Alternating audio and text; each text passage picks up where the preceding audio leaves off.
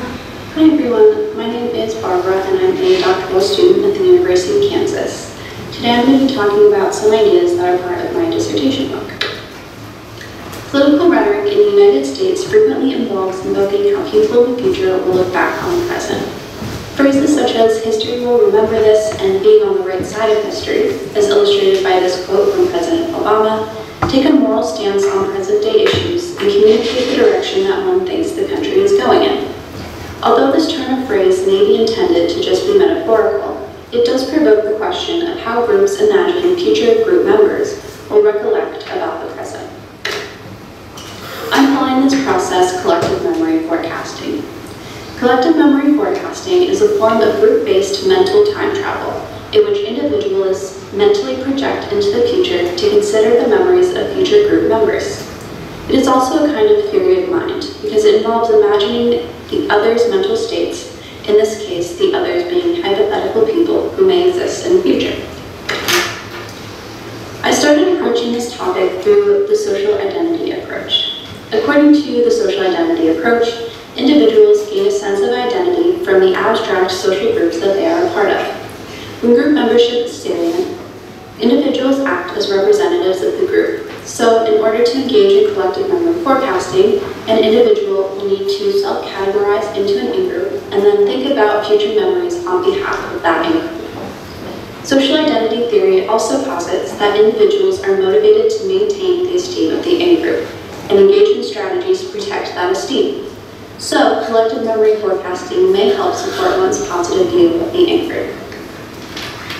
Related to the social identity approach is the study of collective memory. Research has found, with some exceptions, that collective memory can serve to uphold the esteem of the in-group. This can happen when group members distort historical events and selectively remember, forget, or focus on events that make the in-group look good. Additionally, studies have found a strong relationship between personal memory and personal future thinking, because both involve mentally simulating alternatives to the present.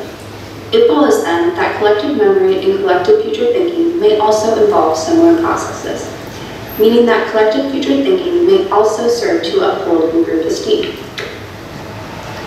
Although most research has focused on the parallels between past and future-oriented personal mental time travel, little has looked into personal memory forecasting specifically, so there's not much literature in that area to draw from. However, one such study did ask participants to predict how often they would retrospect about an upcoming significant event, and compared this to actual retrospection after the event occurred.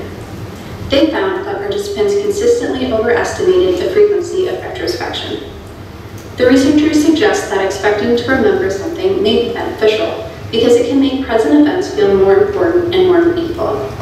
Applying the study to collective memory forecasting, it's possible that people will also overestimate how much those in the future will remember group level events because thinking that current events will be remembered makes them more meaningful.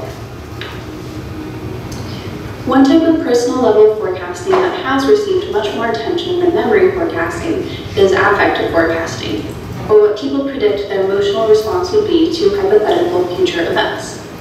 Studies have found that people are generally poor predictors of the intensity and duration of typical emotional responses to various situations, due at least in part to two kinds of bias, called impact bias and optimism bias. If these biases can be generalized to collective memory forecasting, then it's possible that people will overestimate the impact of present-day events on the future, and that people will generally be optimistic about the future. This optimism might extend to believing that the future will come to adhere to the ideals that they currently hold. Taken together, this theoretical background leads me to hypothesize that people will predict that present-day events will be that enhance the in-group will be more likely to be remembered and more likely to be remembered positively than events that threaten the in-group. So why is collective memory forecasting worth studying? In addition to increasing our understanding of the psychology of the future in general, I think that it can tell us about how people think about their social groups and what guides their behavior. When collective memory forecasting is invoked rhetorically, it's usually used to legitimize someone's current opinion or the in-group's actions in the present day.